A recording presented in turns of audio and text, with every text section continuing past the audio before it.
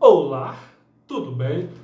Meu nome é Oscar Mitch, um filme estreou em 2021. É um filme que tem drama, ficção policial, é um filme biográfico americano, Casa Gucci.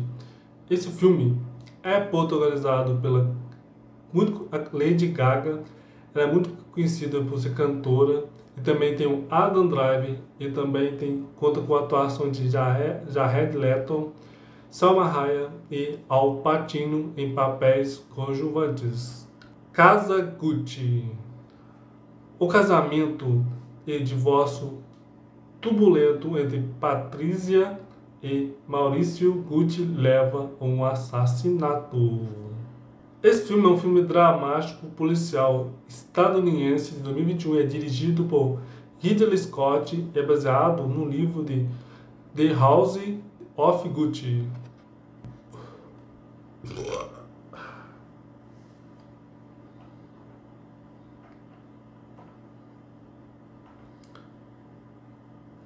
O filme A Casa Gucci, esse filme custou 75 milhões para ser feito. Esse filme arrecadou na bilheteria no cinema 153 milhões. Esse filme detém de crítica de 61%.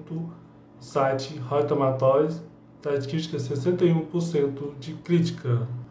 Casa Gucci é o um filme é, ambientado entre as décadas de 1970 e 1990 e retrata os eventos e as consequências do assassinato de Maurício Gucci, empresário italiano e chefe da casa de moda Gucci, orquestrado por sua ex-esposa Patrícia Reggiani.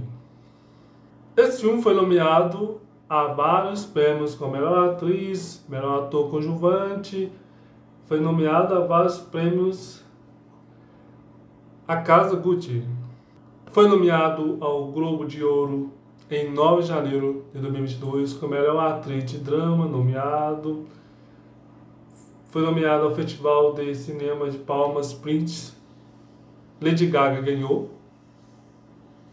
Você curtiu? Até a próxima e tchau.